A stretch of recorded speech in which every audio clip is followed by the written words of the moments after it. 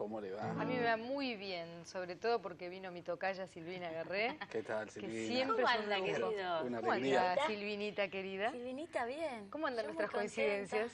Todo bien. Todo bien, Sí. estamos llenas de coincidencias. Alguna Me vez lo dijimos, no lo Ya vamos a repetir. Me. Vamos a jugar al juego de los siete Me errores. falta el hijito a mí. Que Es una- viste esa belleza Te que lo tenés. presto, te lo, te lo- podemos, hijos hay por todos lados, mira. Eh. Cualquier momento, mira, Silvi. Yo quiero hablar de tu infancia, justamente hablando de niños. Sí. ¿Cómo te recordas en la infancia? ¿Una chica musical? can- Una chica muy musical, sí. can- desde los tres años que me recuerdo cantando. Este, porque teníamos un, un antiguo combinado en la parte de la casa, en el jardín de invierno, por supuesto, ahí al lado del balcón, en Rosario, en la calle Corrientes vivíamos, y había un combinado de estos que tenía que esperar que cambie la luz, muy antiguo, ¿eh? de Claro. mueble, Sí, sí, yo tenía. entonces que sí. se caliente. Ah, Claro. ¿Eh? Sí, sí, y ahí tenía este disco- los discos de Marina Walsh. Entonces yo me sentaba solita ahí este, muchas horas por día a escuchar y a cantar con los discos. ¿Y había alguna canción que te gustara mucho, mucho? De Marina Walsh, y te diría que Todas. Sí, me gustaba mucho las de tomar el té, me gustaba... eh, ah, no, la que más me gustaba era esa... Duermo en el... ¿Cómo era? Duermo en el... duermo- eh, de- con mi camisón apolillado, don, don, don, don, don, duermo en el aljibe con mi camisón. Seguía, no son las polillas, son diez mil estrellas que se asoman, don, dolón, dolón, por entre los pliegues de mi camisón. Qué lindo. Qué hermoso, qué belleza, qué alma la de esta mujer, ¿no? Para, para escribir, eh, yo creo que fue la... Hay, hay gente que ha hecho cosas para niños muy importantes. En Rosario, sobre todo, ha habido coros y gente Claro. muy importante. Pro música. Pro música. Pero creo que la genialidad así del arte para los niños empezó y, y terminó con Mariana Walsh. Porque aparte de la belleza, ¿no? De las melodías y de la, de la poesía y de, y de captar realmente el mundo del niño, que es una cosa tan rica, tan- Sí. Con Y- tantos y ingredientes. además pasan los años y a los chicos les sigue A gustando. todos, sí, sí, claro, es para siempre. ¿Y cuál fue la primera que aprendiste a cantar o tocar vos solita? Yo aprendí, mi mamá me mandaba, mi, mi hermana estudiaba guitarra con un profesor, eh, folclore enseñaba, este, zambas y todo eso. Y, mm, y a mí me enseñaron, yo vendo unos ojos negros, este, y un tema, y otro que... Bueno, vamos con Yo vendo unos ojos negros, a ver un poquito. ¿En serio? Eh, Sí, ¿quién cantaba en tu familia más? Mi, mi- mi mamá cantaba, mi mamá tocaba la guitarra y tenía un cuadernito con que antes estudiaba, ella estudiaba por colores, entonces que yo el rojo era la A mayor, No, el verde era mi mayor, entonces tenía el cuaderno Escala y tenía, y te- claro, y tenía como lugares este para, para guardarlo y yo descubrí dónde estaba el maravilloso cuaderno y me empezó a enseñar eso. Y después, en realidad cantaban todos, mi hermana canta divino, divino, que es una belleza la voz que tiene. Eh, mi, abuela. mi abuela cantaba afinadísima. Yo me acuerdo de eso, mis abuelos paternos, pues los conocía los maternos, muy afinados, y mi viejo canta también. Así cantan todos en realidad, no profesionalmente, pero todos cantan. A ver cómo vende unos ojos negros. ¿Cómo hacemos? Y yo Eh, no sé, no nosotras sé, no, los robamos. ponemos uno de, Claro. Son afanados. Yo vendo los ojos negros. Quien me los quiere comprar, los vendo por hechiceros, porque me han pagado mal. Yo vendo los ojos negros. Quien me los quiere comprar, los vendo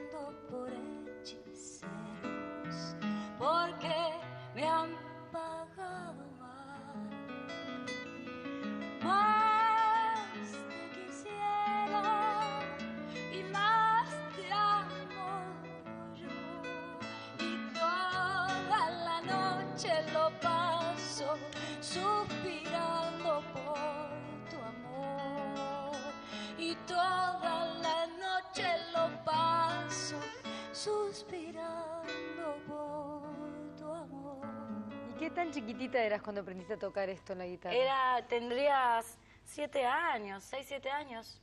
Y la guitarra era más grande que vos. No, yo tenía una guitarra chiquitita que me habían traído este de regalo mis viejos, que era de mi tamaño. Qué una guitarra criolla preciosa, chiquitita con una funda verde. ¿Y te soñabas así cantando frente a mucha gente? No, jamás. jamás, ni, ni cuando empecé a cantar hablar eh, profesionalmente no eh, me soñaba. No, en realidad me soñaba haciendo canciones y tocando en casa y escribiendo cosas y tocando el piano y escuchando música, pero para mí. Ese era el sueño. Mirá vos, Y después fue, fue sucediendo, qué sé yo. con bastante naturalidad. Con naturalidad, eh, sí, y gracias a Dios, eh, teniendo siempre un poquito más eh, de acuerdo a las cosas que yo daba o que yo aprendía. O sea, no teniendo toda una, eh, una estructura que por ahí yo no tenía la base muy sólida como para sostener. Digamos que cada cosita que he ido ganando en, en la carrera y, y- y que he ido a- aprendiendo tiene que ver con, con mi madurez también. Entonces pude ir comprendiendo cómo se hacía. Qué Por lo menos eso creo hasta ahora, ¿no? Que es una cosa de todos los días. Seguramente los Beatles en algún momento estuvieron mareados por su éxito porque no puede no haber sido así. Sí, yo creo que sí, porque además sí que fue muy de golpe eso. Muy, muy grande. Sí. De ellos rescatas una canción que te gusta mucho que se llama I Will. Me gustan, mira, me gustan cantidad. Lo que pasa es que I Will tiene que ver con un tema que can- eh, yo cantaba de, a los 13, 12, 13 años. Después las otras, el long, and- The Long and Winding Road y una cantidad de canciones como Julia y demás, yo descubrí, las descubrí más grandes. Iba poniendo a cada una, le, la- la fue tocando mientras la nombraba. Ay, corazón. Pero vamos a los 12 años, ¿Qué I? Will. I Will es maravillosa. No me acuerdo per- perfecta letra, ¿eh? pero... No importa. Who knows how long I love you? You know I love you still.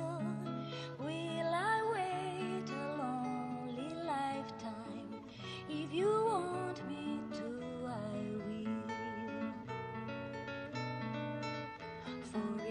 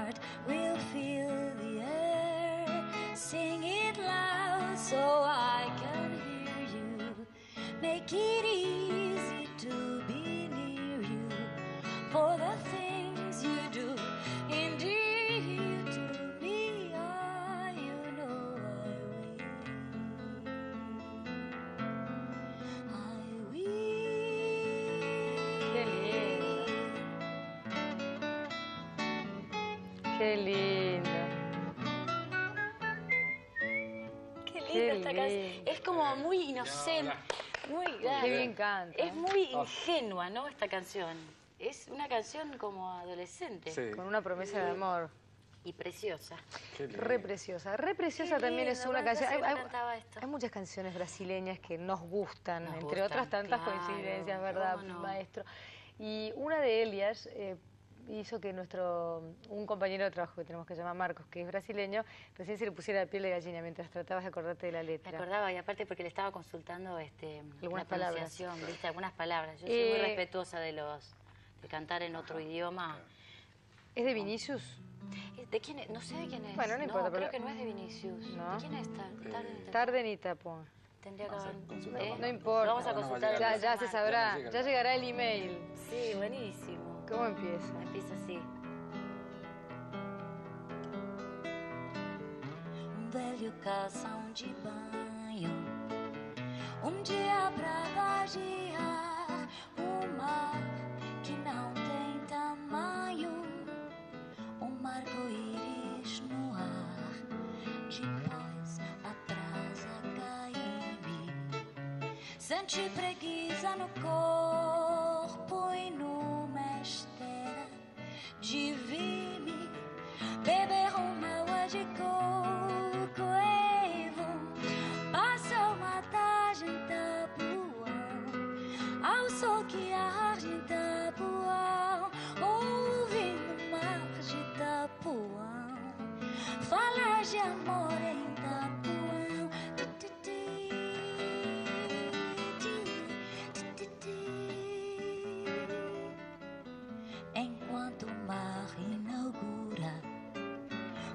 de novinho em folha argumentar com doçura uma cachaça de rolha e com um mar esquecido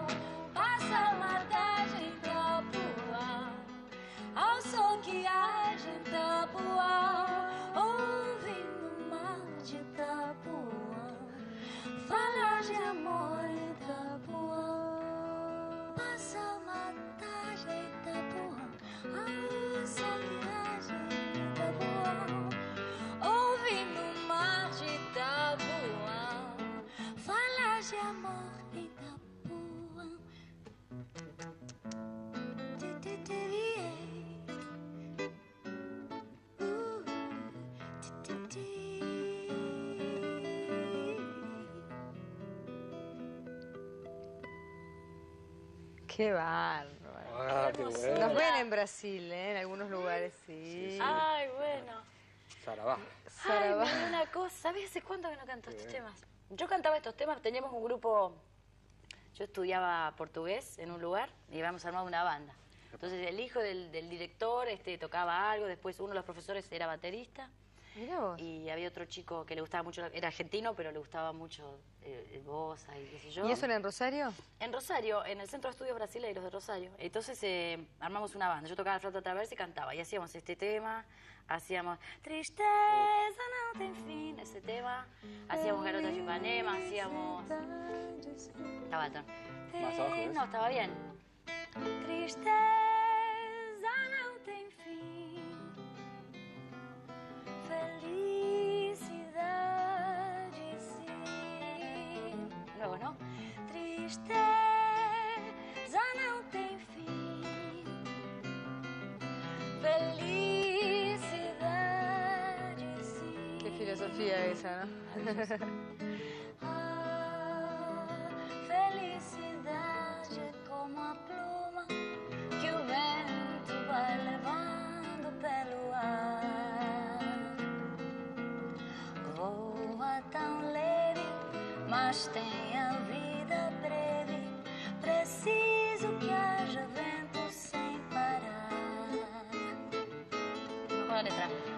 A felicidade do pobre parece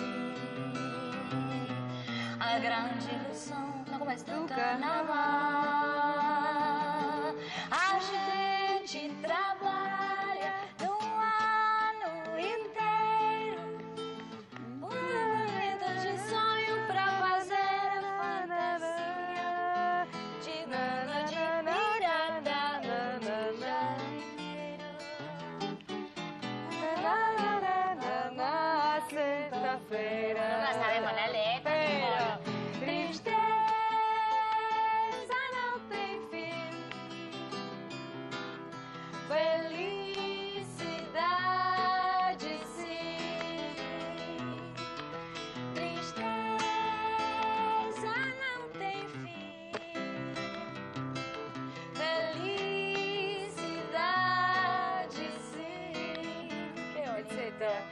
Etcétera, etcétera.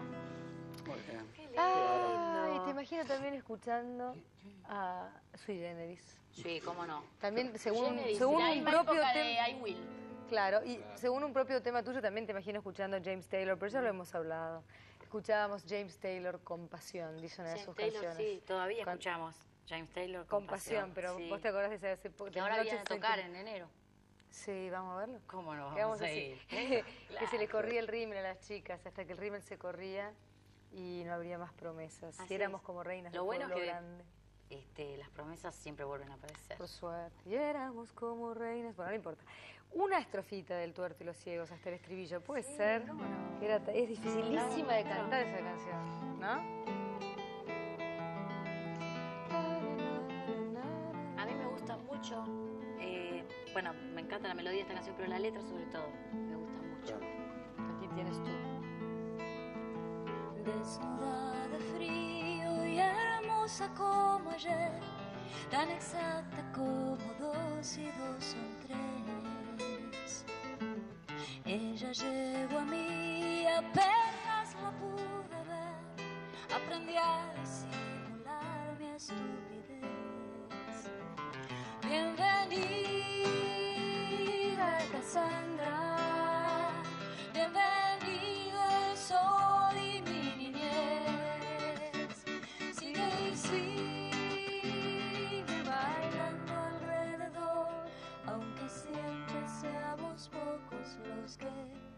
Aún te podamos ver. ¿Qué va? Vamos a hacer el pedacito que viene porque es la parte más linda. Dale, dale, dale. Les contaste un cuento sabiéndolo contar y creyeron que tu alma andaba mal.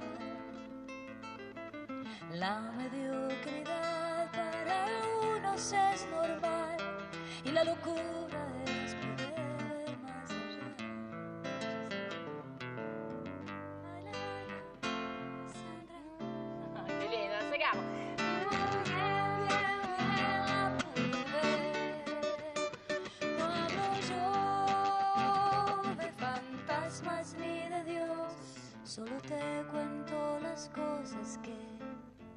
se te suelen perder. Qué lindo, qué lindo.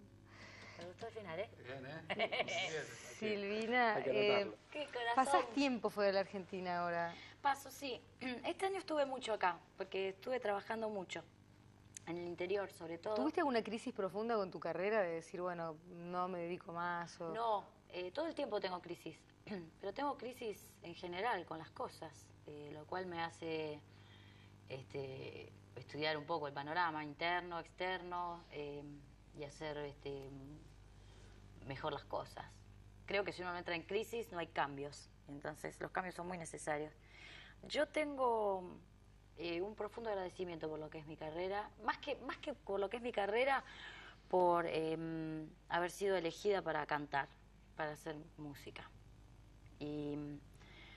En realidad, si, si repaso toda mi vida, em, al tener eso creo que ya no le puedo pedir más cosas a la vida, porque sería muy exigente, muy injusta.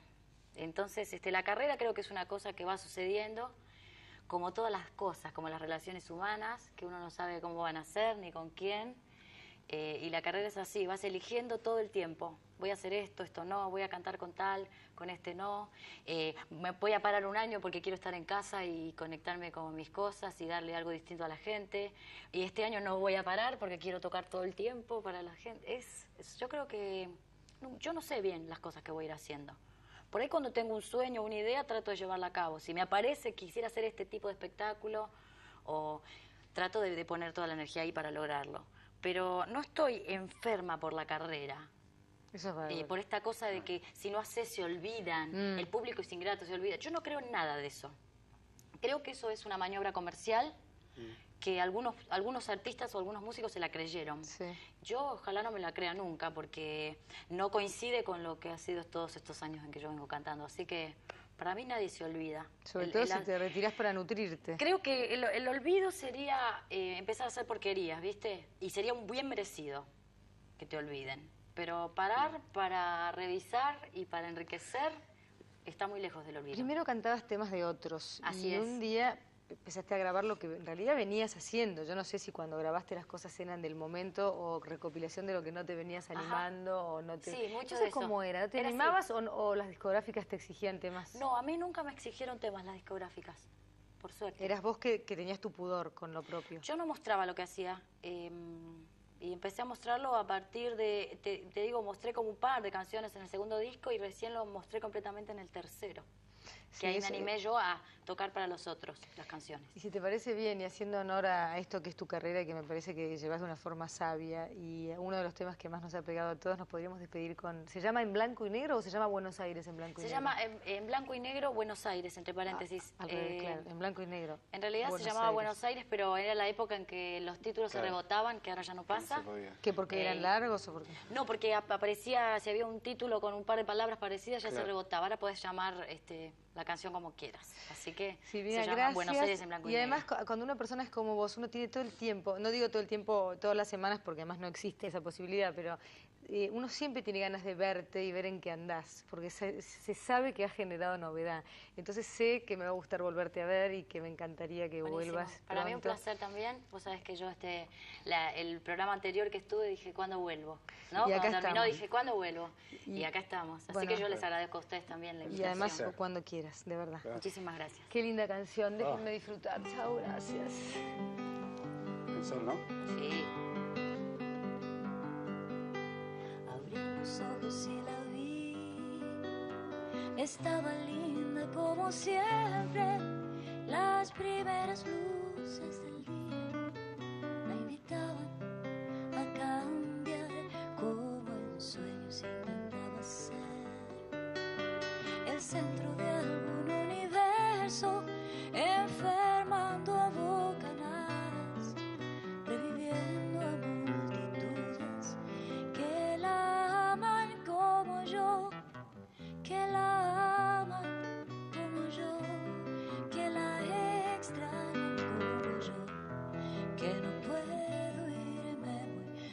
sin llorar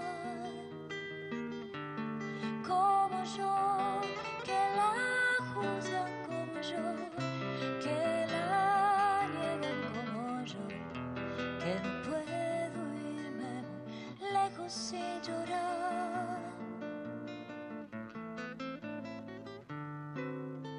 Abrí los ojos y te vi. La gente no escucha tu canto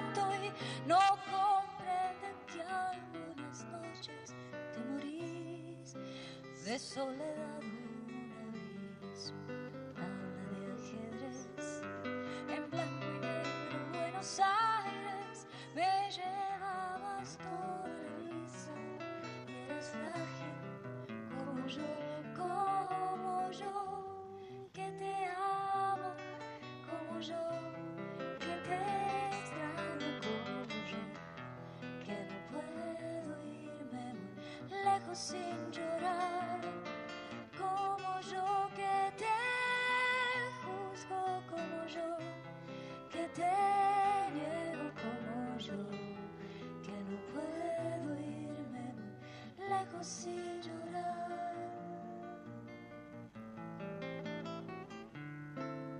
como yo,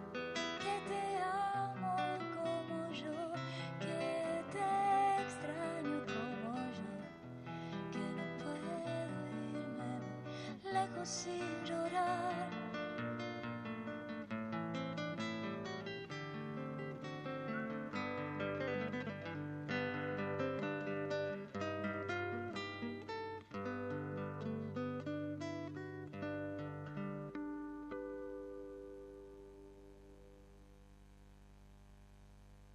Tres años que me recuerdo cantando, este, porque teníamos un, un antiguo combinado en la parte de la casa, en el jardín de invierno, por supuesto, ahí al lado del balcón, en Rosario, en la calle Corrientes vivíamos, y había un combinado de estos que tenía que esperar que cambie la luz, muy antiguo, ¿eh? de Claro. mueble, Sí, sí, yo tenía. entonces que Sí. se caliente. Ah, Claro. ¿eh? Sí, sí, y ahí sí. tenía este disco- los discos de Marina Walsh. Entonces yo me sentaba solita ahí este, muchas horas por día a escuchar y a cantar con y, los discos. ¿Y había alguna canción que te gustara mucho, mucho? De Marina Walsh, y te diría que Todas. Sí, me gustaba mucho las de tomar el té, me gustaba... eh, ah, no, la que más me gustaba era esa... Duermo en el... ¿Cómo era? Duermo en el... duermo- eh, de- con mi camisón apolillado, don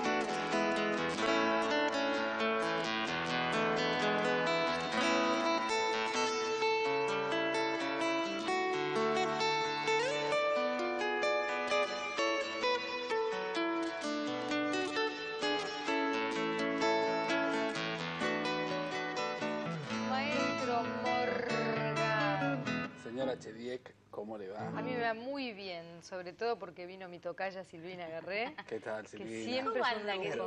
Una ¿Cómo anda, Silvinita querida? Silvinita, bien. ¿Cómo andan Yo nuestras coincidencias? Todo bien. Todo bien, Sí. estamos llenas de coincidencias. Alguna Me vez lo dijimos, no lo Ya vamos a repetir. Me. Vamos a jugar al juego de los siete Me errores. falta el hijito a mí, que viste esa belleza que Te lo tenés. presto, te lo, te lo- lo podemos... Hijos hay por todos lados, mira. Eh. Cualquier momento, mira, Silvi. Yo quiero hablar de tu infancia, justamente hablando de niños. Sí. ¿Cómo te recordas en la infancia? ¿Una chica musical? can- Una chica muy musical, sí, can- desde los todos, sí, Sí, sí, claro, es para siempre. ¿Y cuál fue la primera que aprendiste a cantar o tocar vos solita? Yo aprendí, mi mamá me mandaba, mi, mi hermana estudiaba guitarra con un profesor, eh, folclore enseñaba, este, zambas y todo eso. Y, mm, y a mí me enseñaron, yo vendo unos ojos negros, este, y un tema, y otro que... Bueno, vamos con Yo vendo unos ojos negros, a ver un poquito. ¿En serio? Eh, Sí, ¿quién cantaba en tu familia más? Mi, mi- mi mamá cantaba, mi mamá tocaba la guitarra y tenía un cuadernito con que antes estudiaba, ella estudiaba por colores, entonces que yo el rojo era la A mayor, No, el verde era mi mayor, entonces tenía el cuaderno Cada y tenía, y te- claro, y tenía como lugares este, para, para guardarlo y yo descubrí dónde estaba el maravilloso cuaderno y me empezó a enseñar eso. Y después, en realidad cantaban todos, mi hermana canta divino, divino, que es una... No son las polillas, son diez mil estrellas que se asoman, don, dolón, dolón, por entre los pliegues de mi camisón. Qué lindo. Qué hermoso, qué belleza, qué alma la de esta mujer, ¿no? Para, para escribir, eh, yo creo que fue la... Hay, hay gente que ha hecho cosas para niños muy importantes. En Rosario, sobre todo, ha habido coros y gente Claro. muy importante. Pro música. Pro música. Pero creo que la genialidad así del arte para los niños empezó y, y terminó con Mariana Walsh. Porque aparte de la belleza, ¿no? De las melodías y de la, de la poesía y de, y de captar realmente el mundo del niño, que es una cosa tan rica, tan, Sí. Con Y- tantos y ingredientes. que además pasan los años y a los chicos les sigue gustando.